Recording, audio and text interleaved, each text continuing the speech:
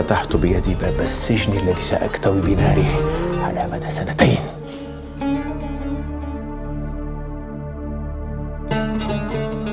على أي حال لليالي أعاتب وأي صروف الزمان كنت أغالب.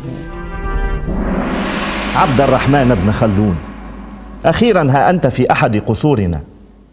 مرحبا بك في موطنك إشبيلية. بما أن الدولة لا ينبغي أن تقام على مبدأ الظلم فمن واجب السلطان أن لا يزاحم الناس في تجارتهم.